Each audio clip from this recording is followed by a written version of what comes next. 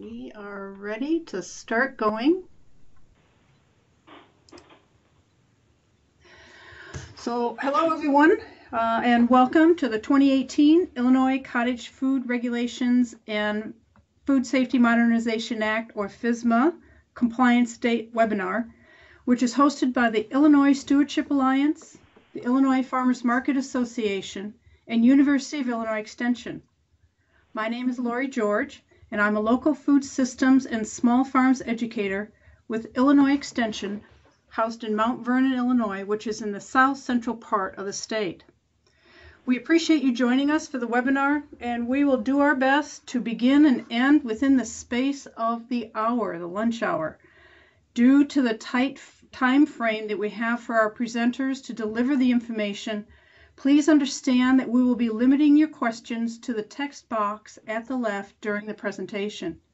I will do my best to make sure that our presenter, Rebecca, answers them as time allows at the end.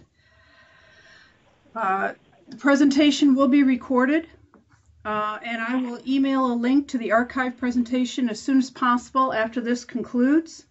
Uh, I will also be sending out a link for a very short online evaluation of the presentation and we would very much appreciate your feedback. So without further ado, I'd like to uh, introduce our first speaker, Rebecca Osland. Uh, Rebecca manages government relations for Illinois Stewardship Alliance. She joined the Alliance staff in 2015 as a policy associate after serving on the board of directors. Rebecca previously worked as a solo attorney, advising local food businesses and organizations and giving presentations on farm legal issues. Prior to and throughout her service on the board, she provided pro bono legal analysis and legislative drafting on several alliance policy matters. Rebecca completed a BA in political science at the University of Chicago, followed by an LLM in tax law and JD at Northwestern University. So, Rebecca, welcome.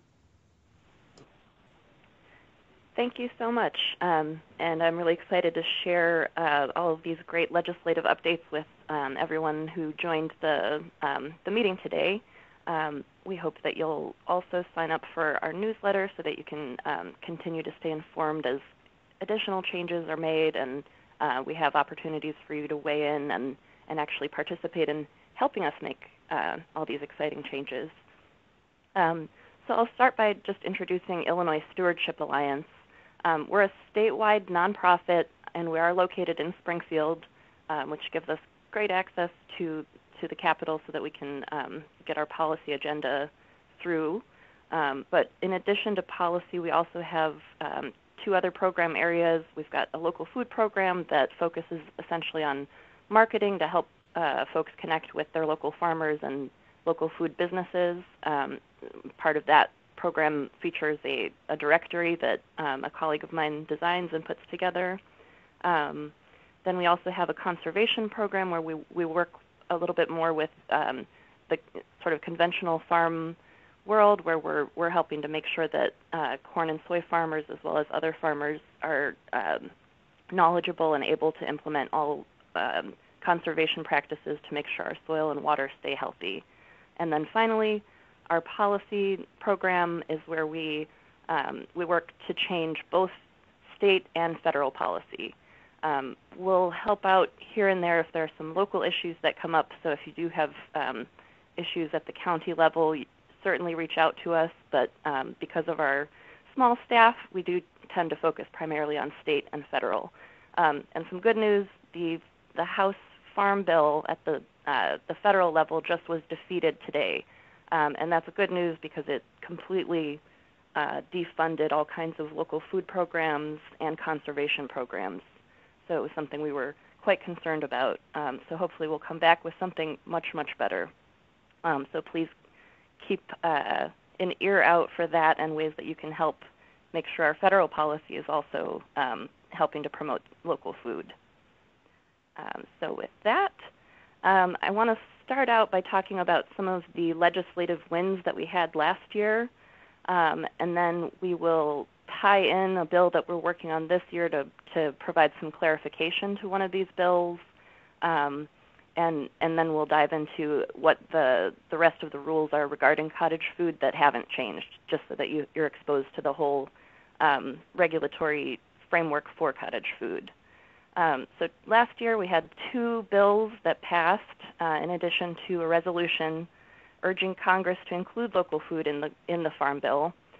Um, but the two bills that passed uh, were the Local Food Business Opportunities Act which dealt with statewide farmers market sanitation rules, and then the Illinois Food Freedom Act, uh, which dramatically changed the paradigm for cottage food in Illinois. And um, of all the things I've worked on, I would say this is my most uh, proud uh, effort that, that we were able to successfully shepherd through. So I'm really excited to share it with you. Um, and then I do provide the statute citation here. Um, it, might look a little wonky, but in case you want to try to find this language for yourself, I, it's really not too bad to read through, and it's kind of neat to see how it actually uh, looks in the, the legal setting.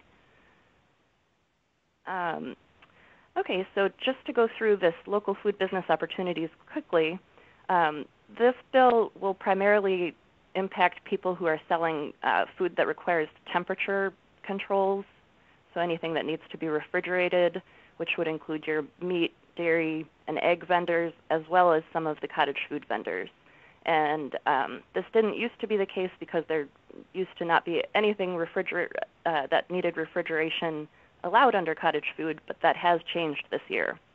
Um, so this this is relevant uh, to some of the cottage food folks. Um, but essentially, what this bill did was address um, some discrepancies that we kept hearing about from county to county in terms of how food sanitation was enforced. Um, one big issue that we kept hearing was that in some counties it was fine to use a cooler, whereas in others a, re- a mechanical refrigerator was mandated, and in some they even said which models were allowed. Um, so because it was safe in some places to do a cooler, um, we were able to negotiate and get to a point where wherever you are in the state, you will now have the choice of how you want to keep your, your food cool. So you can use a cooler anywhere in the state now. Or you can use a refrigerator if you want to have uh, greater stability and, and temperature control. Um, but the, if you do use a cooler, it must there are a few parameters that are required. So it has to be insulated, hard-sided, and cleanable.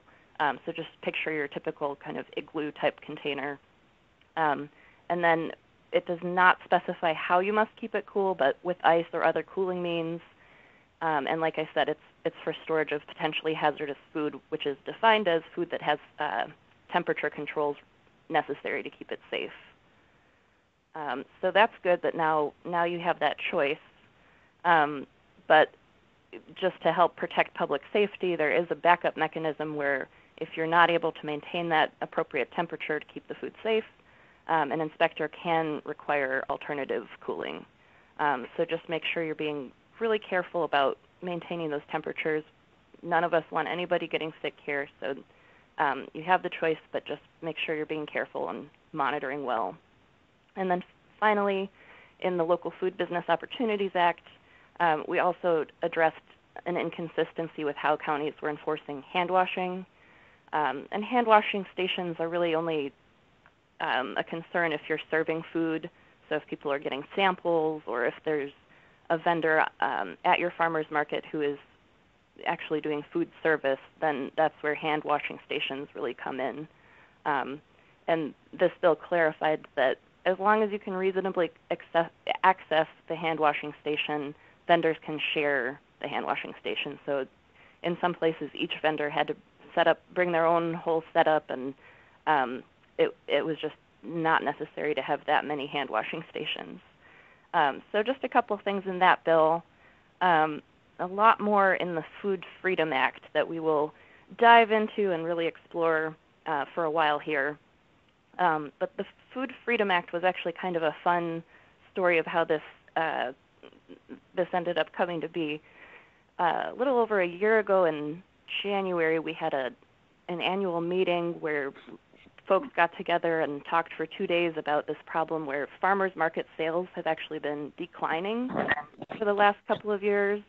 And that's really alarming because that was seen as um, the market opportunity for direct-to-consumer farmers. And so if sales are declining, that's really quite concerning. Um, so people brainstormed, um, but it actually was at lunch. I was sitting with with some farmers, and they said, "Well, I think it's just that people aren't cooking as much anymore." And I said, "Well, how about if we make it easier for foods to be sold that are in a form that consumers are more attracted to, something a little bit more value added, um, a little more processed, so that it's easier to eat." And um, and then we became aware of this Wyoming Food Freedom Act, uh, which has passed into law. And their law basically says you can sell just about anything under the sun without re- inspection or regulation, as long as it's direct to consumer and the consumer is informed that it's been not inspected and made in a home kitchen. Um, so we thought, well, here's a great example of, of a state really uh, fostering its local food environment, why don't we just start this conversation? We we don't think it'll go anywhere in Illinois because we do tend to be a little more cautious here, but let's talk about it.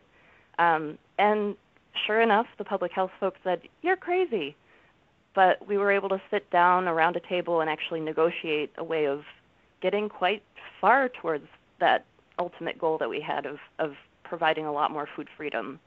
Um, so we'll go through. We we negotiated point by point, and I, I'll explain a little bit about how some of these things were arrived at. But to set the stage for what these changes are, um, I'll just point out that we have had a cottage food law in Illinois. Illinois Stewardship Alliance actually championed this initial bill back in 2012. Um, and so we've had cottage food for the last five years or so. But the only things that were allowed were things like jams, jellies, non potentially hazardous baked goods, and dried herbs. So a really short list, um, and it was all just within the, the category of non potentially hazardous. Um, but if you look at that list, that really does not provide a lot of opportunity for our vegetable farmers. Um, and that was a big concern because when farmers finish selling at the farmers market, what do they do with what's left over? They usually feed it to the hogs or they they compost it and lose an opportunity for some more income. Um, and our communities lose out on being able to, to, to still access that food. Um, so that, that was a big concern. Um, also, there was a cap on the gross receipts that a cottage food business could receive. Initially, it was only 25,000. In 2016, it was raised to 36,000. Um, however, we, we were hearing from uh, vendors that about two thirds of that gross receipts could uh, be eaten up by just their expenses. So therefore, you're looking at only earning about $12,000 max, um, which really wasn't a great opportunity for, for getting small businesses really started. Um, so what we did with the Food Freedom Act, um, two major things. One was that we removed the cap on the sales, so there's now no limit. If your customers love what you make and they, they want to buy more than uh, than what you could sell previously, you have no restrictions anymore. Um, and then we also flipped the paradigm of cottage food. So you saw that list on the last slide. Essentially, previously we said nothing nothing is allowed to be homemade and sold except this very short list of things when we sat down and negotiated with the public health folks, we were able to actually flip that paradigm. And now the law says that everything is allowed, all food and drink is allowed to be homemade and sold except for what's listed. Um, so if we forgot something, you know, that's where uh, we actually it actually would be allowed. Um, so we'll take a look at what the law is currently. Um, and just to note, the Local Food Business Opportunities Act doesn't go into effect until June 1st of this year, um, and that's just because of when it ultimately ended up passing all the way last year. Um, but this Illinois Food Freedom Act did go into effect on January 1st, so this is the law. Um, so to dig in here a little bit, um, this is this is the list of what is currently not allowed, um, and we're going to take a look at this, and then we're going to talk about uh, the bill that we're working on now that provides some clarification because um, once once this bill passed, then we started getting questions about, well, how is this interpreted? Does this apply to that? Um, and so we tr- we're, we're, trying to resolve all the questions that we've heard so far in the bill this year. Um, but currently, things that are not allowed, um, some obvious ones here if you're uh, concerned about public health, meat, poultry, fish, seafood, dairy, um, but you can use some dairy in, in non-potentially hazardous baked goods or candies. Um, those are dried down enough where uh, the risk is really reduced of uh, bacteria and other pathogens growing. Eggs would not be allowed, um, except again as an ingredient in the, the non-potentially hazardous baked goods or in something like a dry noodle. Um, this uh, prohibition on pumpkin pies, sweet potato pies, cheesecake custard pies, cream pies, um, and potentially hazardous fillings or toppings, that comes from the prior law that was all carved out as um, too potentially hazardous, so we just kept kept that language in. Um, garlic and oil has a risk of, of forming botulism. Um, and then canned foods is a big category that we, we've done a lot of tweaking with, so we'll we'll definitely talk about this more on the next slide. But um, we kept in all those jams, jellies, and everything that had previously been allowed, and then we added in acidified vegetables. What we were trying to capture here was things like pickles and fermented food like sauerkraut. Um, the public health folks did not want canned tomatoes, so this is where there was a little bit of um, looking at the language and figuring out what what it all meant. And in the end, they decided they were going to count tomatoes as botanically fruit. Um, and so to use that explanation for prohi- prohibiting tomatoes, now we're hearing that they're telling people that about cucumbers and other things that are botanically a fruit. Um, so if you are already trying to get your cottage food license and and trying to sell pickles, you may have run into that, and uh, so that's something that we're definitely addressing in this bill this year because everybody, including the, the public health folks, had the intention of allowing pickles. Um, so that is kind of frustrating that um, in order to prohibit tomatoes, everything's ended up getting into a bit of a, a gray area with them. Um, so we'll talk about that more. Um, sprouts, there's uh, again a risk that they'll develop bacteria cause, because they're so moist. Cut leafy greens, um, but leafy greens that are dehydrated or blanched would be allowed, or froze, blanched and frozen. Um, cut leafy greens does not mean the harvest cut, and we do clarify that. Make sure uh, in the bill this year the department, the State Department of Public Health does have guidance already that says the harvest cut does not count, but just to provide additional security to all of our farmers, we were putting that into the law this year. Um, and then tomatoes just really were such a sticking point. I, um, I guess because they're so moist and they are not as acidic as a lot of people assume they are. Uh, they they can create some public health risks. So we did not, we were not able to get cut fresh tomato or melon. Um, so that's things like your your salads. You know, if you were if you were to do a salad, you'd have to do something like cut baby greens. You know, the harvest cut baby greens, and then whole cherry tomatoes, for example. You would not be able to use cut tomato. Um, and then dehydrated tomato or melon not allowed frozen cut melon. I fought really hard to to not prohibit frozen cut tomato here because last year that was the only way that it seemed we were we were going to be able to get tomatoes at all. And tomatoes are such a big crop that our farmers grow. It was really important that we had some way of doing tomatoes. Um, so frozen cut is fine. Um, and then wild harvested non-cultivated mushrooms. There's just too much risk of somebody misidentifying and then alcoholic beverages. So this is the law now. There's some great some questions here. So I'm going to move on to the next slide to talk about what the bill this year is doing to resolve uh, some of the questions that have come up. Um, so this year's bill that's the bill number there is SB 457. Um, we just got it through committee unanimously this week um, on Tuesday.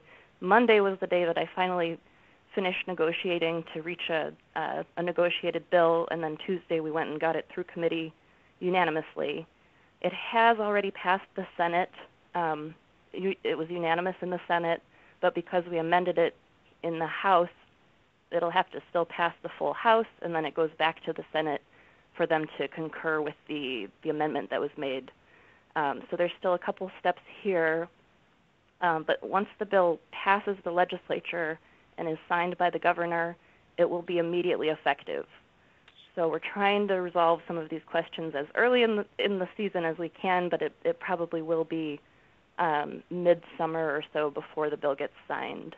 Um, so there's some things that are going to be a little bit frustrating for now, uh, just because the public health folks might be interpreting them differently than our ultimate goal.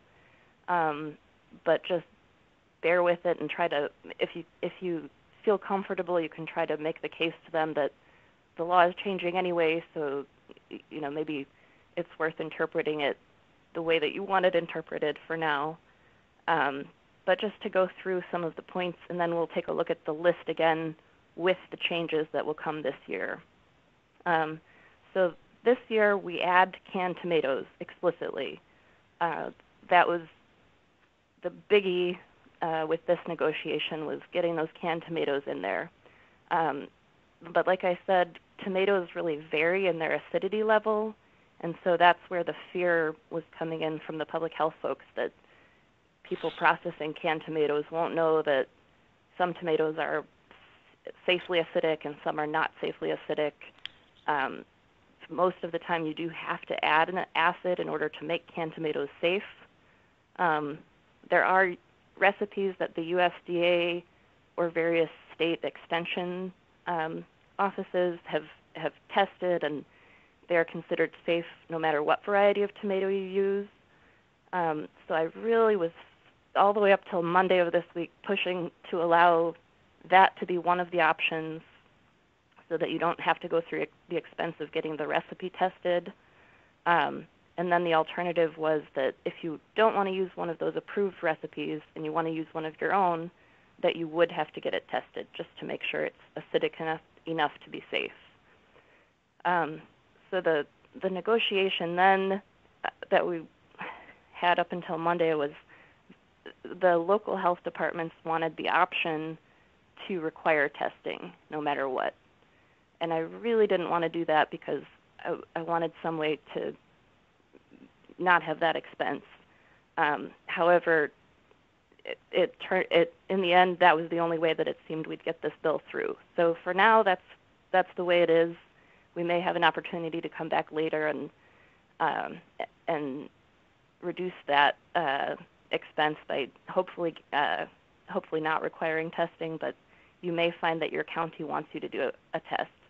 That is the best practice anyway, and I've been telling people no matter what food you're making, it's best practice and it's um, it's for your safety and your customer safety to get a test and make sure that what you're making is not going to get people sick. Um, but this will be potentially a requirement for canned tomatoes. Um, and then we also added canned syrup and canned fruit. Um, so if it's acidified, which is where we get the pickles and the, the tomatoes, and then, or if the fruit is in syrup, we realized you can do jams and jellies, but there wasn't anything like halved peaches or something like that allowed. Uh, so we do address that. Um, it also the bill clarifies that condiments are allowed, but it, if it is a condiment that contains tomatoes, it uh, you will have to follow the, the rules for canned tomatoes. Um, we also clarified that if you acidify garlic in oil, then you can sell you can make that as a cottage food business. Um, the question about salad dressing was coming up, and doing some more research on the issue, um, it, it did seem like it was accepted as safe enough as long as the uh, the garlic is acidified. And then, um, actually, Laurie George, I think you were the one who asked me this question since since the bill passed, we've distinguished microgreens from sprouts, and we will allow microgreens. Um, so microgreens are defined, and I'll add, I have the definition in here later, but uh, sprouts are grown in water, and microgreens are typically grown either in soil or a substrate, and they're cut above the soil level. Um, so that minimizes that that changes the risk pro- profile enough that the public health folks were comfortable going uh, allowing the microgreens. And then, like I said, we also spell out that the harvest cut is not cut greens. Um, so you can go cut down your spinach or your your baby greens, and the law very specifically says that's not prohibited. Um, and then here's here's kind of the biggest disappointment I would say of the negotiation. Um, there was a lot of question about whether kombucha would be prohibited as an alcoholic beverage when you ferment kombucha and make uh, it's a, a, fermented tea um, for those who aren't familiar with it. But when you when you produce kombucha, it can contain trace amounts of alcohol. Um, so our folks were asking about it, public health folks were asking about it, and it, it ended up coming to a conversation about whether they were comfortable with fermented foods at all. And in order to protect all the other fermented foods, I suggested let's slow down on kombucha as long as we can get everything else uh, allowed. Let's let that show a track record of safety, and let's keep pushing to get kombucha in there as soon as we can. So I'm sorry if there are folks on here who really wanted to do kombucha. I know it's something we hear about quite a bit, um, but that was pretty much our one loss in the negotiation as far as clarifying questions.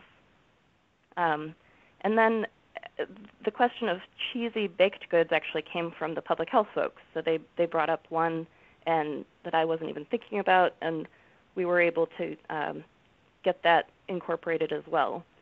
So, but if you do want to do a cheesy baked good, your county may ask you to get a test done. So you'd have to send it to a lab. Um, but it, it's not a mandate. It's up to the county if they're going to require that. Um, especially drier, hard cheeses just don't contain that water level that makes them as risky. So keep that in mind. If you're using um, soft, moist cheeses, you're you're probably not going to pass those lab tests. But if you've got a hard dry cheese, um, you you may have that option.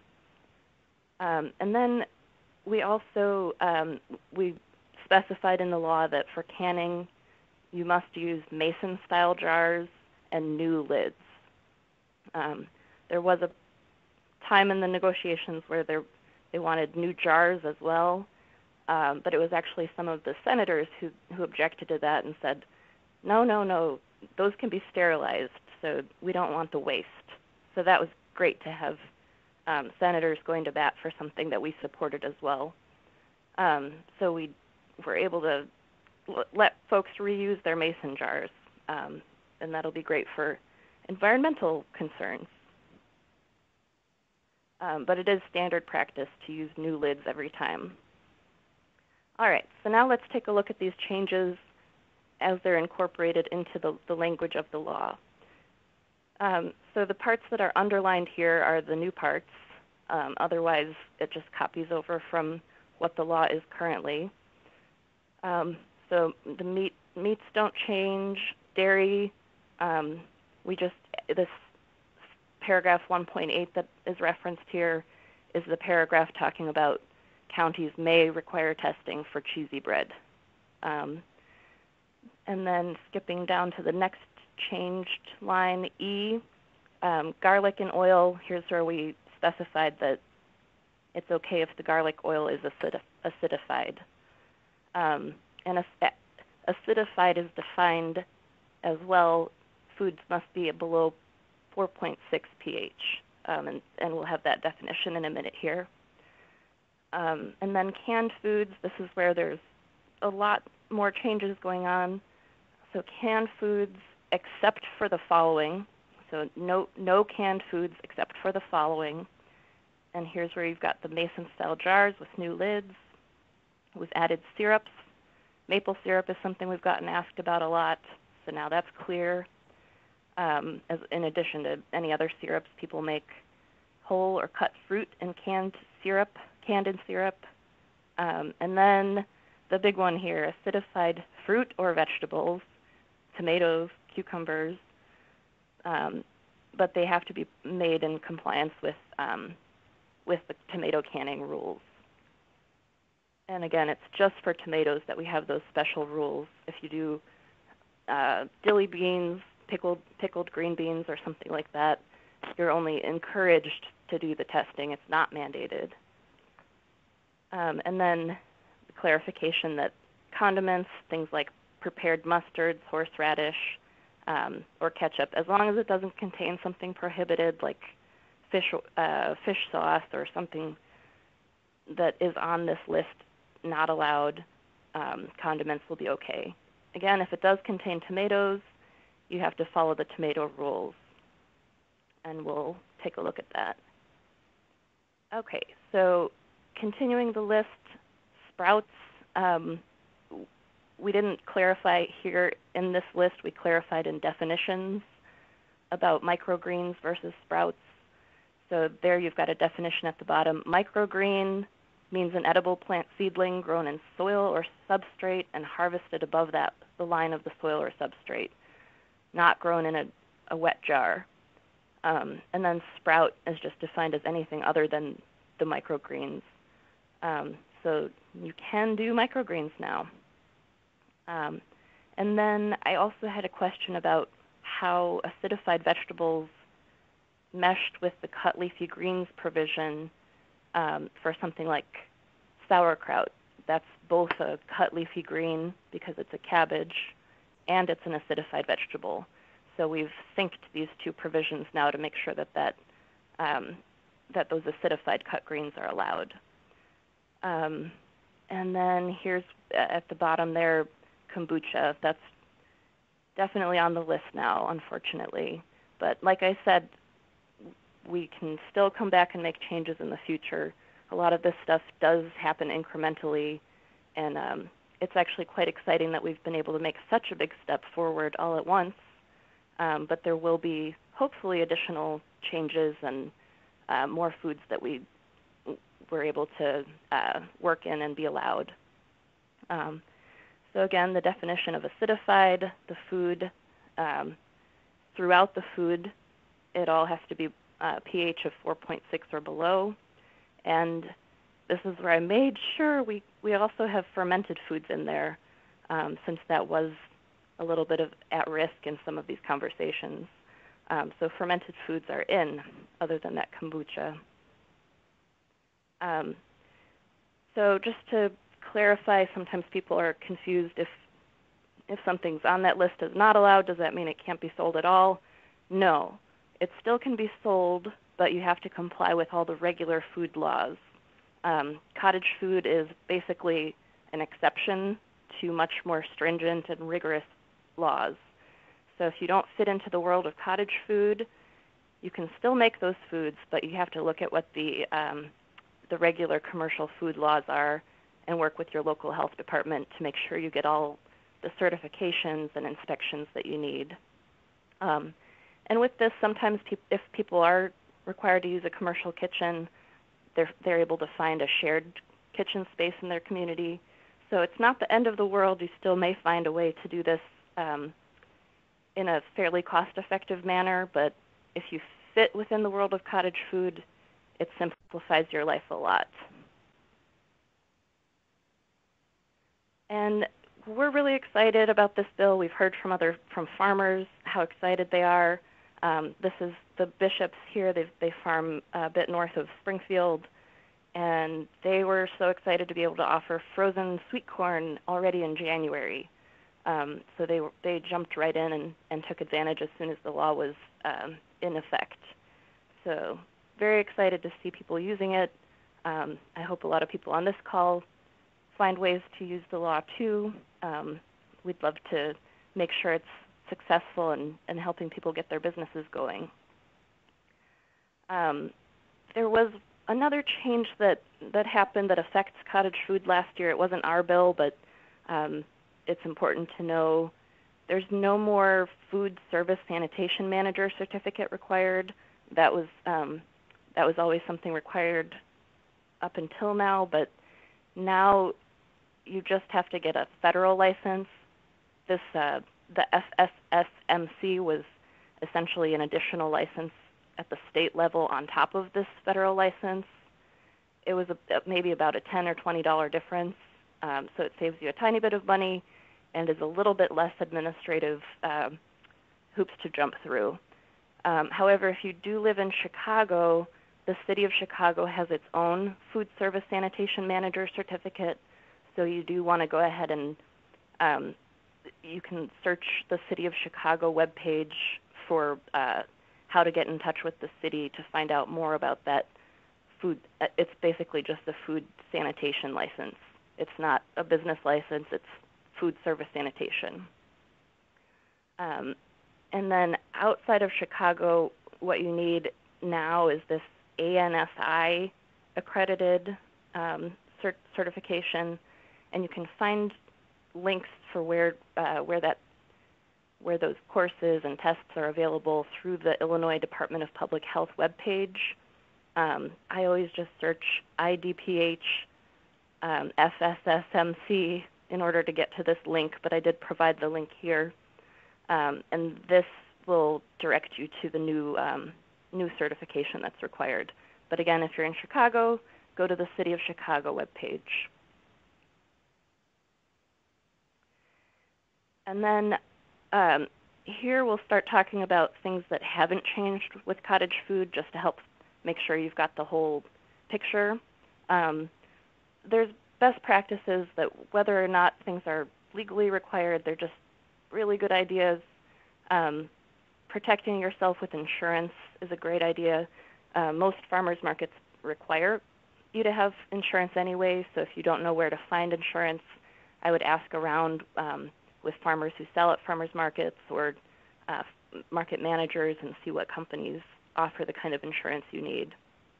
And then, even if you don't have to test the canned foods, it's a really good idea. Um, I understand the testing is not terribly expensive, and once you've got your recipe tested, you're good to go. So it's not that you have to test each batch, it's that you're getting your recipe approved, and then your recipe is good to go.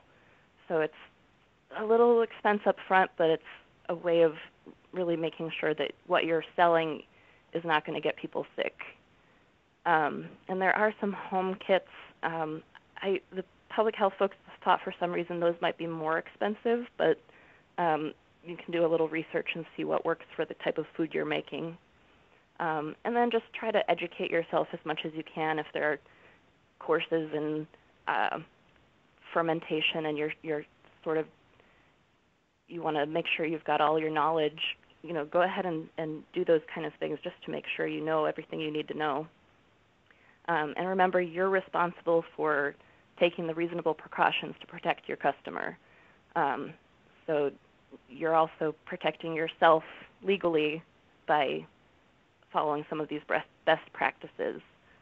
Um, so I encourage all of those things and reaching out to Extension is, is a good way of, uh, of finding resources to help you with these, um, these points. Um, and then where can you sell cottage food? Um, the law says that cottage food uh, is to be sold at farmers markets or if there's a signature ingredient in the food that was grown locally, the food can be sold from the farm where the ingredient was grown or delivered directly to customers. Um, so this is a great way of making sure that we're we're really doing local business and all the way back to the level of the farm. Um, if you if you do use locally grown ingredients, you have more options for how to get your product to your customer. Um, and then some people wonder, well, what is a farmer's market? Uh, it is defined in the law. Um, so it's a common facility or area where farmers gather to sell fruits, vegetables, and and various other local farm products directly to consumers. So it's not um, a festival or other other kind of um, events that are open to the public. It's where farmers gather to sell farm product. Um, now, it doesn't have to be a regular meeting place. It could be, you know, farmers getting together. Um, I, I suppose a pop-up would probably be be fine. Sometimes the counties come up with other ways of thinking about things, so it, it, it would be worth checking with your county just to make sure they're thinking on the same page as you. Um, and actually, on that point, I'll, I'll just say with some of the, the foods on that list, I would still check with your with your local health department and just make sure they're not going to interpret the law differently than you are. Um, like you heard, we've had issues with that with the cucumber pickles and things like that. If the department is interpreting it differently, you're you're going to have to go along with what what they're telling you at least until you can get them to change their mind. Um, and unfortunately, there is no state oversight body where you can go and say, oh, they're not doing this right, because they're all independent local public health uh, departments. So the bodies that oversee your local public health department are things like your uh, city council, your mayor, your um, your county government. So if you have problems with the, the health department, that's really your your place to go uh, to have recourse. You can certainly reach out to us as well. It's helpful for us to know if you are having trouble, um, but that is not terribly unusual for people to think that one thing is fine and then hear something different from your local health department. Um, and it's a problem that we're continuously coming up against. So just know that, that that it's good to have a relationship with them and communicate with them so that you don't get surprised later. Um, but going back to this slide now, um, so this signature ingredient um, that allows you to sell from the farm or deliver to customers, it doesn't have to be the main ingredient, but it does need to be kind of a special ingredient. Um, and most of the time, you'll if you've got a local ingredient in there, you can just feature that, and uh, and that should qualify. We've got um, it's really exciting that there's a lot more farmers growing local grains now, and we do have a grain mill that just came online that's um, a little bit south of Chicago, and they do deliver. So even your baked goods, you could find some local grains to get in there and uh, be able to qualify for this delivery to customers. So please keep that in mind. Uh, that, that mill is called Janie's Mill. Okay, so a couple other requirements with cottage food that haven't changed, but we'll just go through them. Um, for the labels, you have to include uh, the name and address, the common or usual name of the food product, um, all the ingredients, and you have to disclose this product was produced in a home kitchen not subject to public health inspection that may also process common food allergens. So that word for word needs to be somewhere on your label. And then the date that the product was made and the allergen uh, labeling. And we have all the details of this on our webpage, so I'll make sure you have that by the time we're done here because you'll probably want to download our guide and use it as a reference. Um, and then in addition to labeling on your on the actual food packaging, you also have to have signage prominently displayed at the point of sale that again alerts your customers that the food was made in a home kitchen, not subject to public health inspection uh, and that it might have allerg allergens. Um, as far as registration, um, the way the law is written, it basically says no entities regulate cottage food. However, it gives local government, local public health departments the option to regulate cottage food. So most counties have uh, taken that on, that on themselves because they're the ones who will have to respond if there is a public health problem, so a lot of them have opted to uh, to, to, regulate upfront. Um, so most counties do require registration. Um, they used to charge drastically different fees, but now those that's been capped at $25. Um, and you do have to register in the county where your primary residence is, and that's where you have to make the food. So in the kitchen of your primary residence or in an outbuilding on that property, but it's your primary residence. Um, and we have heard that, that some counties also charge $25 to sell cottage food. Um, and the law does look like it permits that. So unfortunately, you may find that you're registering in the county where you, you live, and then if you sell in another county, they may charge you $25 there as well. Um, and then I've got a, a link here uh, so that you can find your local public health departments, or you can just search online for your county and public health department. You should be able to find it pretty easily. Reach out to them, let them know what you're thinking of doing, and they, they should also be able to help walk you through what they require and just confirm that they're interpreting things the same way you are. Um, and then I just put a couple slides in here to talk about the bigger picture of why all this matters. Um, we're in a world right now where so much of our food is controlled by large corporate interests. Here on this slide, we've got uh, the, the, large line at the top, the farm operators. We've got lots and lots of farmers. Um, well, only about 1 or 2% of our population, but still. And then at the bottom, lots and lots of consumers. But in the middle, you've got only a few processors and distributors and that's this bottleneck where so much of the control and and profit ends up. Um, so our farmers are only earning, on average, something like 17 cents on the dollar when we shop at the grocery store or go to a restaurant. However, when we buy local foods, they're getting usually that whole dollar. I know there's fees, but you're at least um, you're not having all this money come off in that middle section where where there's all the control um, and the, to have another view of this concentration, economists say that when four companies uh, control 40% or more of a market, there's no longer a competitive market. It's essentially, um, you know, a, a monopoly. So if you look at this all across the board, beef, you've got four companies controlling 84% of the market, corn 80%. So our our food system is not competitive, and it's not um, it's not allowing a lot of, of opportunity outside these very few powerful companies.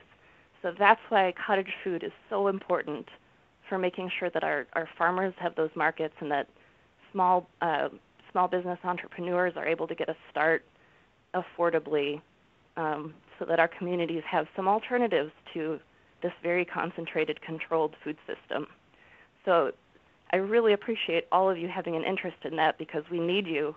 Um, and we need you to get involved with the work we do too because it's it's a constant effort um, and it's it can't just be us alone pushing for things. We need all of our members uh, who who do help us actually get things across the, the finish line. Um, so here's some contact information you can use to reach out to us. Here's our webpage. Um, there is a way to sign up for uh, our newsletter. We are a membership organization, so I encourage you to join us as well. Lots of um, events that you can participate in. And then uh, here's the specific link for the Cottage Food Law Guide, and you can um, you can actually download the guide there. So we'll be updating that once um, once this additional law gets passed. And um, before I turn it back over, I just want to let folks know we're ha- if you're up in the Chicago area, uh, we're having an event at G-Man Tavern uh, on this Sunday at 1 p.m. and it's to um, to help with the launch for a, a new hemp beer. One of the bills that we're working on is to allow farmers to grow industrial hemp. Uh, so if you want to meet some of our staff, that's a good place to go. Um, and you can find information on our webpage. It's one of the top uh, posts that you will find. So with that, I will stop and turn it over to Laurie George. Okay, thank you, Rebecca. Hump hemp beer. That's that would be interesting. That would be interesting. Okay, so um, we do have a couple of questions here, and um, let me get this up again real quick. So the first one that I have is uh, from Jackie. She is trying to start a small meal prepping, um, a meal prepping business, predominantly plant-based, no dairy, no meat. And at the moment, they're looking in for to a commercial kitchen, but they're thinking of selling it at a farmer's market. Is this doable with proper storage of individual meals in a cooler? Well, if you're going through a commercial kitchen, you have a lot more flexibility. So, yeah, the farmer's market is, is just fine. Um, and if you've got foods that need to be refrigerated, uh, that first law that we talked about is what's going to help you so that you have the choice between mechanical or coolers. Um, but you'd, you'd be working with your health department quite a bit for the initial part of getting the certifications and getting into that certified kitchen. But from there, you'd be good to go at the farmer's market. Okay. Do you know if individual, I mean, if uh, thermometers are required for coolers? That's not specified in the law, so that's something to work with your local health department on. Um, we didn't want to get too prescriptive with it, um, so there still will be some potential variation from county to county in how they want to measure. Um, but we figured we'd start there and and let some best practices kind of evolve so that if it makes sense to go back and specify in the law, we'll know what's working and what's not. Okay. Um, I do have a question. It says, as far as F goes, and they're referring to the food freedom clarifications under F for canned foods, except for the following, which may be canned only in mason style jars with new lids. They want to know about canned pie fillings such as cherry and apple. Is that allowed or not? And they have another question about dehydrated pears and apples. So the the pie filling, um, if you're doing, let's see, so if you are doing something like a, a fruit that's canned in like a syrup to do to do a pie filling, that's very clearly allowed. Um, if you can find a way of just phrasing it as fitting in one of these categories, I think that's your best bet. But calling it a, a pie filling should be fine as long as you can um, kind of justify it as one of these categories. Okay. What um, about? And then for dehydrated fruit, that's not on the list, so it is allowed. Oh, okay, great. So that's how this works now. There's A, B, C. If it's on this list, it's not allowed unless there's an exception. If it's not on the list anywhere, it's allowed. Okay. Um, what about some examples of drinks that are allowed? I know that kombucha you said is not, but are there is there a list or examples of drinks that are allowed? Anything but kombucha or alcoholic beverages. Okay. So ju- juices, uh, sparkling sodas. You, you know, you, you could think of all kinds of things as long as it's not alcoholic beverage or kombucha. That's easy enough to remember. So, where and how do you get your own recipe tested? Do you know? Um, I would search for food labs in your area. If you're having a hard time finding one, um, I would ask an extension office, a cooperative extension, um, because they do a lot with um, with that kind of technical work. Yeah, I, I agree with the extension. They do carry a lot of uh, good information as far as that is canning preserving and things like that. I have a gentleman that makes maple syrup, and there's and they buy their jars and caps from industry suppliers. Can they use these rather than the mason jars? Um, let's see. So they're, I'm guessing they're canned. Well, I believe he's talking about the. I'm I'm thinking more glass, the glass jars, and the lids, and then the sealers for the lids. Well, so canning is defined will be defined in the law now, um, and it, it, so if you're not hot water processing, um, you should you should be outside of the definition of sorry canned, um, and it's only canned foods that are prohibited unless they're on this list.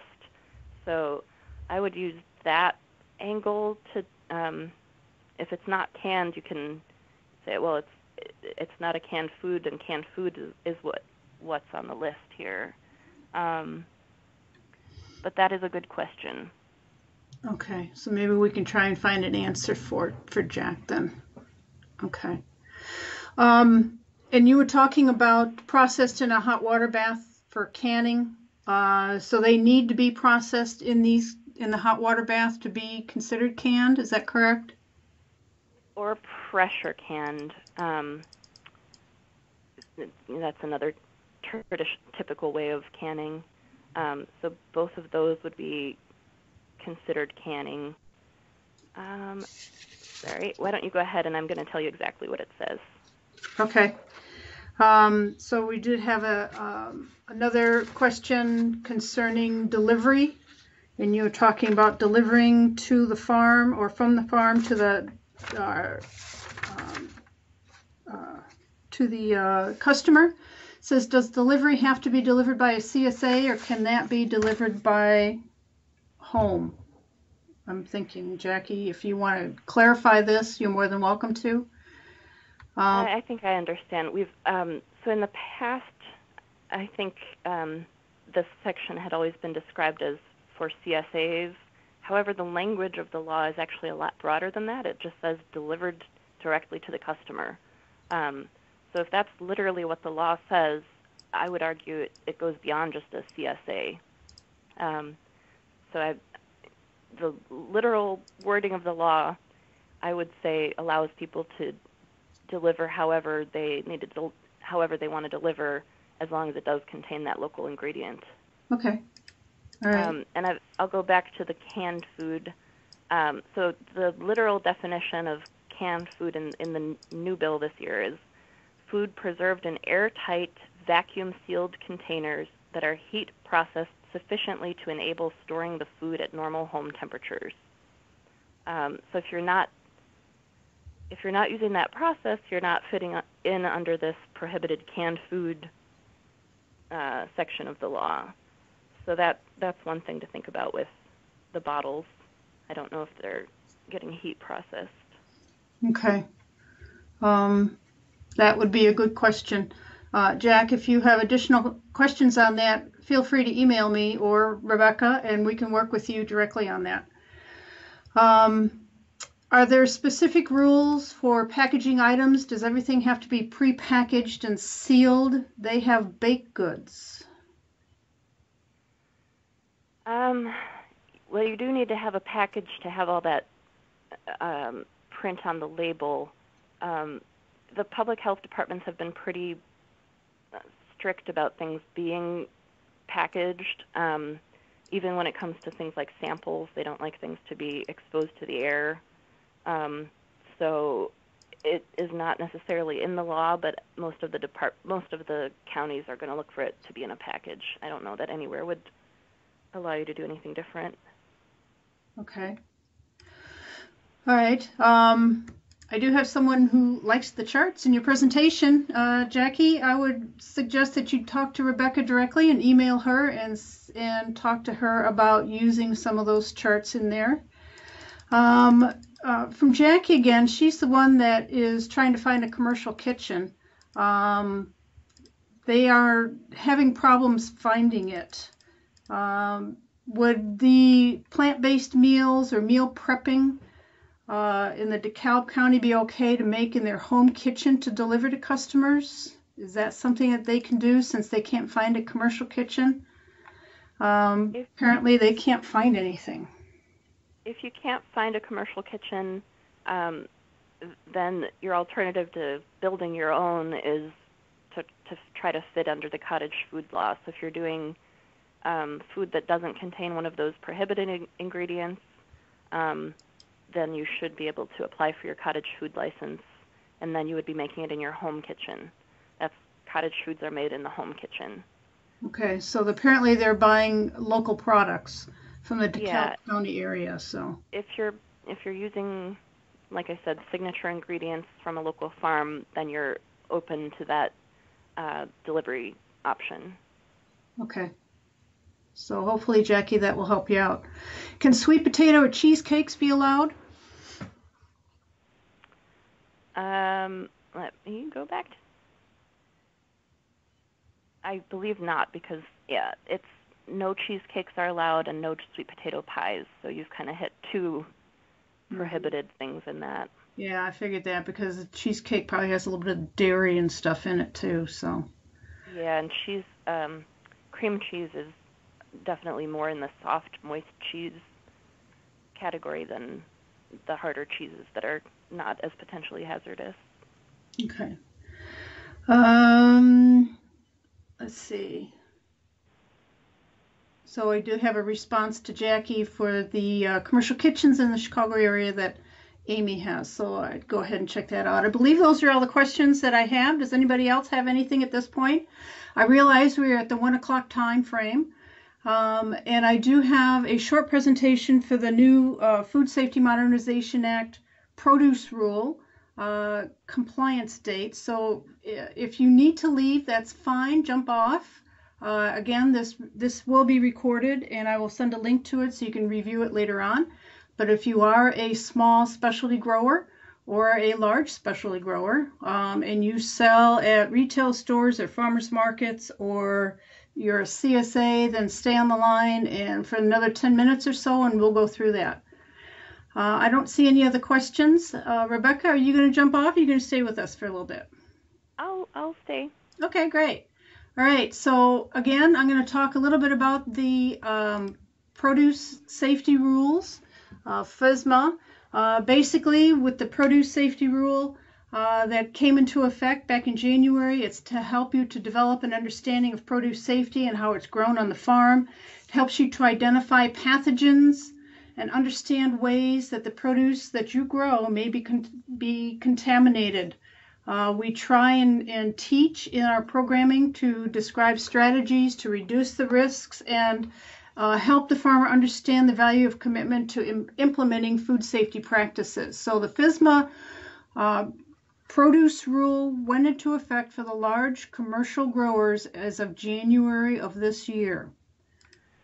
So the produce safety rule is a first ever mandatory federal standard for growing, harvesting, and, and holding of fresh produce. Based on uh, what you grow and how, if it is processed or not, some growers may be eligible for an exemption or an exclusion based on the type of product. So if you grow a product that is rarely consumed raw, um, such as uh, potatoes, those there are exempt crops. Uh, so there is a, a large listing of crops that are exempt. Uh, if your product is going to have a kill step, meaning if you're going to sell it to a processor, uh, to have a heat treatment or a kill step that's going to allow the reduction or elimination of any type of pathogens within the food, though that also may be, have an exemption. The average annual produce sales, and I'll touch on that in just a minute, and the average annual food sales and sales to qualified end users. And when we talk about qualified end users, these are going to be people uh, like the direct consumers that you sell to at the farmers markets or CSA uh, if you sell to a restaurant. Um, so it's basically the person that you're selling it to is going to be a qualified end user, someone that's going to use it right away.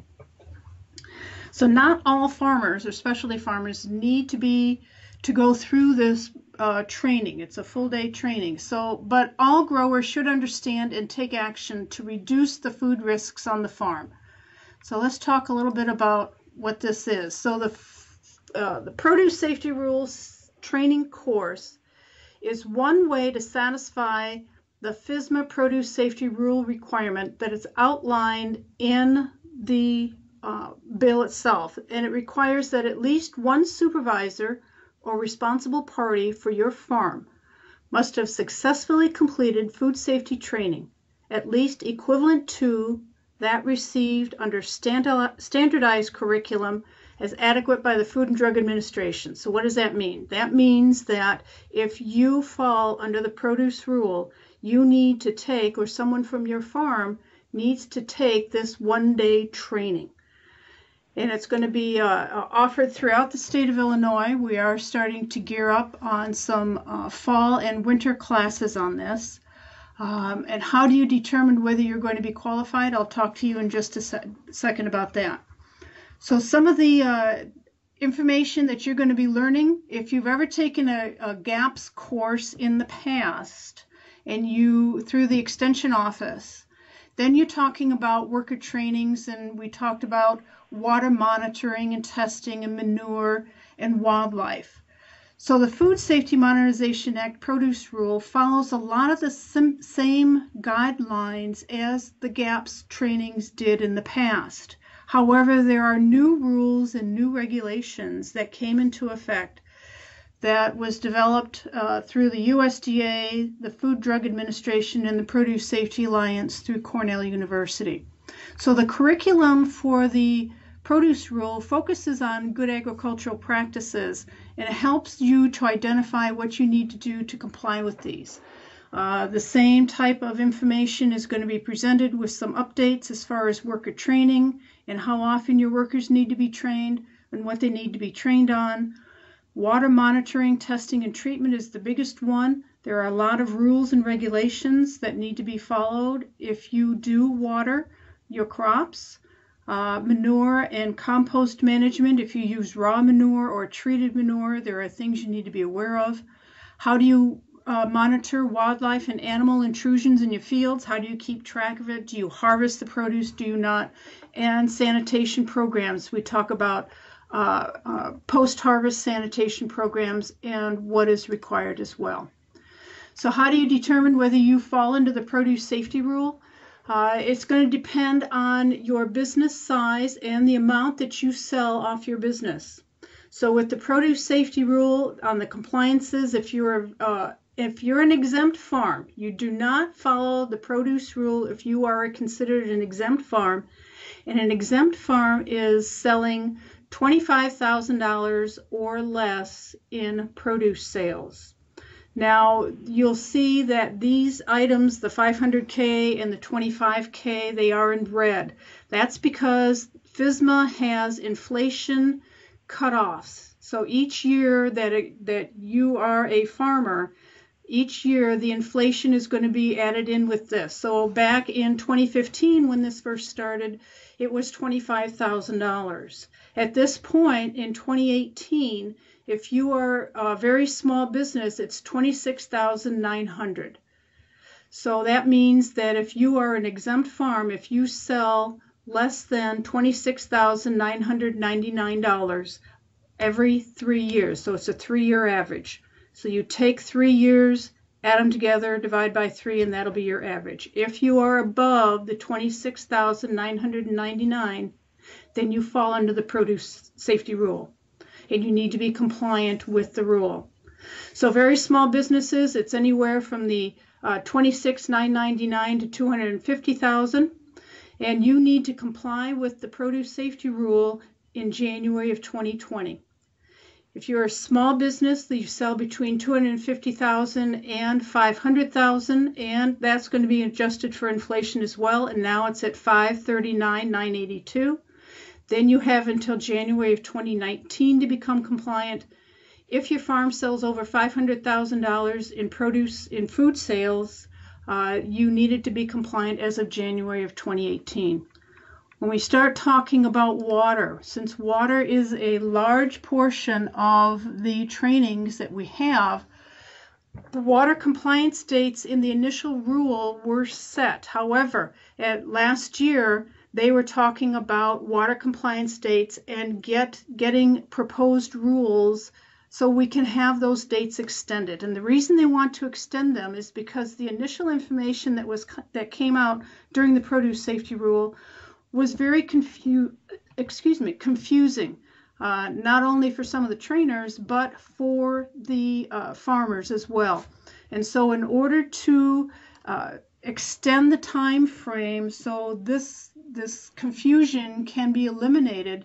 This the proposed rules state, and this is going to be based on the business size, that the water compliance dates are going to be different. So the compliance dates we talked about in the last slide for most produce is going to stay, but your proposed water compliance dates are going to change, and that uh, It is a proposed rule. It has not been finalized at this time.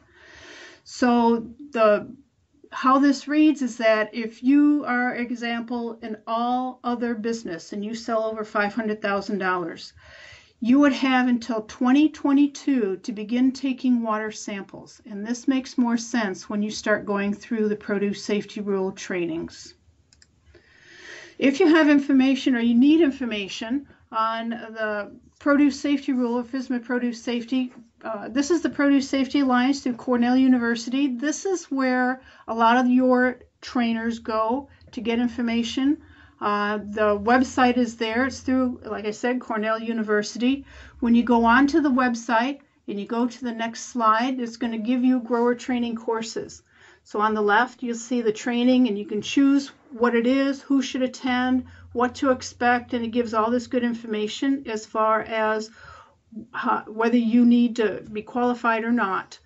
And then once you go on there, then it's just below that, it says upcoming grower trainings. And when you hit that one, it's going to give you all the trainings that are going to be offered uh, throughout the United States and internationally.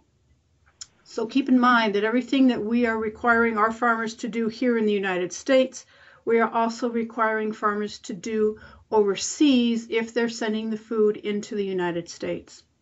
And so if you're interested and want to know whether there's any good uh, grower trainings coming up, this would be an excellent place to start looking at. So in Illinois, there are three trainers in Illinois for the Produce Safety Alliance. Myself, and my address is there, and again, I'm in the Mount Vernon area. Zach Grant, uh, he is in the Cook County, Chicago area. He is also a lead trainer in Illinois. So if you have any questions or concerns on the Produce Safety Alliance and whether you need to qualify or not, or whether you're looking for additional information, you can contact Zach as well. And the third one is James Thury. He is in the Kankakee area. Uh, he would be more than happy to help you out to determine, to help you to determine or, or direct you to some of these grower trainings. If you are in the central Illinois or south central or southern Illinois area, there is a PSA training, uh, authorized training on August 13th in Mount Vernon, Illinois, and I did include the website there to uh, so you can go in and register. Uh, the nice one about this one is that the first 10 registrants for this training will have uh, the training manuals paid for. So it's a $50 value, so you'd register, and then on the back end, I would go ahead and refund that 50 for that manual. So again, it's only the first 10 people that register that will be able to access this um, this grant from Southern Illinois University. So um, other than that, it, it, was quick and dirty. Uh, if you have information or you want more information, then feel free to uh, go ahead and contact myself. Uh, we do have a few more questions that came in here. Uh, let's see. This is for you, Rebecca. What about pies or pumpkin pies that use non-dairy ingredients? Will they be able to be sold um, through farmers markets at all? Um, I think that was specifically on the list. Do you, I'm going to go back just so I can okay show you while we talk about it. Um, did that change? Did that move the screen for you too? No. no okay. Which one are you on? Um, I just... am on. Okay, pumpkin pie is specifically listed under D on slide 11. Okay. Um, so it doesn't matter if it has dairy ingredients. Pumpkin pie is considered too moist uh, and potentially hazardous. Okay. All right. Uh, I have someone that said they cut the fruit. Can they make like fruit cups and do it that way? The only cut fruit that is not allowed is uh, melon. Melon.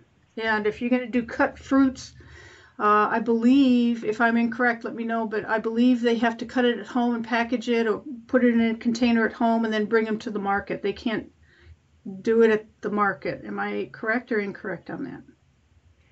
Yeah, if you if you were to do it at the market, you'd be in a different category. You'd be a food service vendor, and and then that is a whole different uh, set of regulation. Okay. So package it at home there is an option to do samples on the spot at the market, but you do need to get a sampling permit to do that. Um, there's Okay. more information about sampling permits on our webpage as well. Okay. Um, and where can we get information on the new cottage fill bill, uh, food bill that is proposed? Um, following uh, our signing up for our newsletters would probably be the best bet. Um, there's some uh, story articles we've written that we've posted on our webpage. Um, you can also go to ilga.gov and search for the bill number um, SB 457, and that will bring up the language for you. Okay. All right. Are there any other questions at this time? Okay. All right. So if not, I'd like to thank Rebecca uh, for the great presentation and sharing your expertise with us. And I'd like to also thank everyone for joining us on this webinar. I hope you got some information that will help you in your in your small farm endeavors uh, for 2018 season. Please look for an email from me for a link with the archived webinar, as well as a very short evaluation of the webinar you just watched. Uh, we do look at your feedback and use it to shape our future webinars and workshops. Uh, with that, I wish you a fabulous rest of the day and a productive growing season in 2018. Thank you for joining us.